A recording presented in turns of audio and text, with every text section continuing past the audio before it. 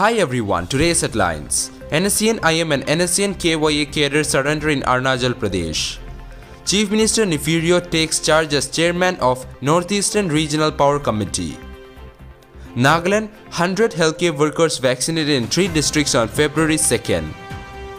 Assam Rifles apprehended 1 NSCN K2 cadres and 1 OGW.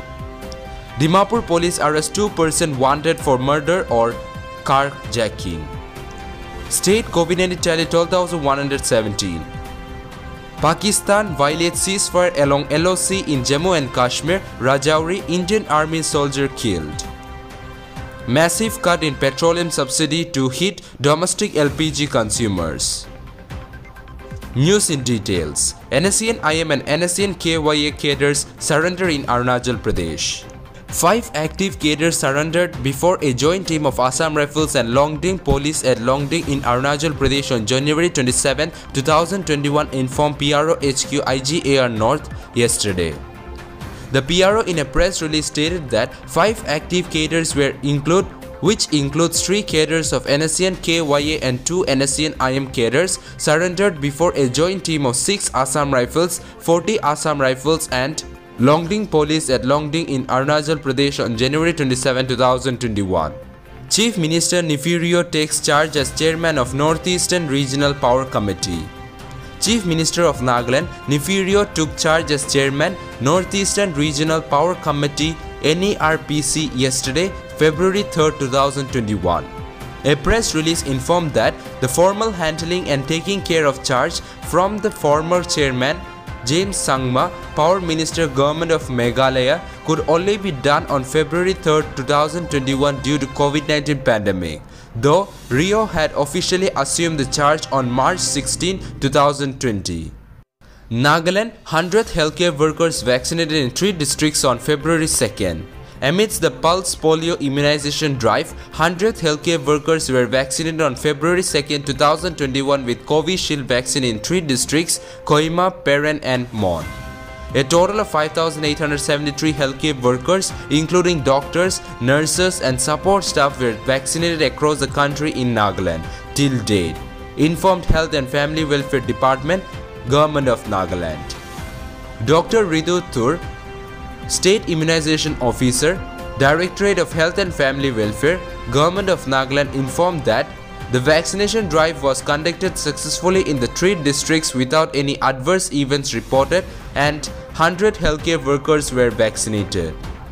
Also, Dr. Thurr said that till date 39,50,156 healthcare workers have been vaccinated across the country by Covishield and Covaxin vaccines.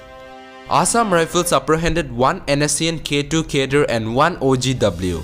Assam Rifles in a joint operation with state police apprehended one armed cadre of NSCN K2 and one OGW in general area Changcheng Colony, Pongchau Circle on February 1, 2021. The PRO HQ IGAR North informed that Troops of Assam Rifles along with police representative launched an operation based on specific input and apprehended one armed cadre of NSCN K2 and one OGW. The apprehended individuals have been handed over to Pongchau Police Station Arunachal Pradesh for further investigation. Dimapur police arrest two persons wanted for murder or carjacking. Dimapur police along with Assam Rifles apprehended two accused persons from Dimapur in connection with a case of murder or carjacking in Assam on February 1, 2021. A case was registered in Charitwar PS where the driver come owner named Purnanda Shaha was murdered and his vehicle was taken away on February 1, 2021. Dimapur police launched a joint operation with Assam Rifle on February 2, 2021 based on an information received from a source and apprehended two accused persons namely Bishwajit Mek and Saliatru Kempari from Dimapur while trying to dispose of the hijacked vehicle to Manipur state. State COVID-19 tally 12,117. Nagaland recorded 16 new COVID-19 positive cases on Wednesday, 15 in Kohima and 1 in Dimapur taking the tally to 12,117.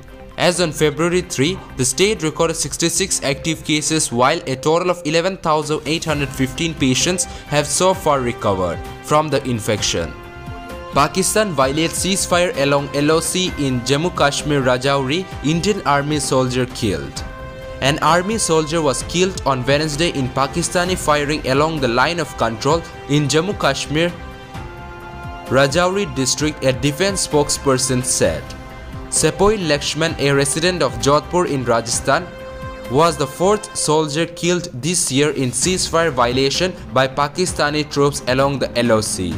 The Pakistan army resorted to unprovoked ceasefire violation on the LOC in Sundarbani sector of Rajouri. Our troops responded strongly to the enemy fire, the spokesperson said. Massive cut in petroleum subsidy to hit domestic LPG consumers. A massive cut in petroleum subsidy in the budget 2021-2022 is likely to hit about 20 crore consumers entitled to get cooking gas subsidy under the Direct Benefit Transfer DBT scheme. The government had started transferring a subsidy of, of rupees 563 per cylinder to beneficiary accounts directly in 2015. The price of the cooking gas cylinder was rupees 998 back then. The latest data of December 2020 shows the subsidy amount has been reduced to less than rupees 20. The price of a domestic LPG cylinder hovered around 700 in December last year. Under the DBT scheme, the government provides subsidy on 12 cylinders to a household in a year. India has about 28 crore LPG consumers. Out of these, about 1.5 crore are not entitled to the subsidy because their annual taxable income is above rupees 10 lakh. While consumers buy cooking gas at market rates, the subsidy amount is transferred directly into their account.